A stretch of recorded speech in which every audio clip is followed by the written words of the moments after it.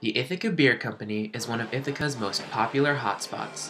Fans enjoy their good food, lively atmosphere, and of course, their large selection of beer.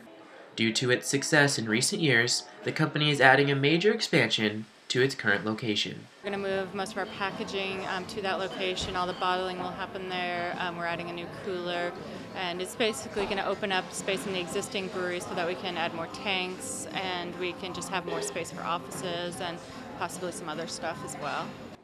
When completed, the 23,000 square foot expansion will nearly double the size of the company.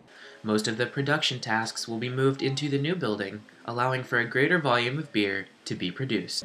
Since we're looking to, we're, we grew about 40% this year, and we're going to try to do the same again next year, where we reach almost 40,000 barrels in 20, 2015. That would be the goal. Um, so that would be a, bring a lot more people on board, some more dedicated, like full-time jobs for things that we're currently have part-time positions for. The employees of the Ithaca Beer Company are familiar with construction in the workplace, as the restaurant was completed in 2012. The process will take approximately eight months, and groundbreaking is expected to start by the end of the month. What you see behind me is where the new expansion of the Ithaca Beer Company will be. The new expansion will offer new jobs for people in the Ithaca area and will possibly open new doors for new types of beer in the future. Reporting from Ithaca, Justin Barwick, Newswatch 16.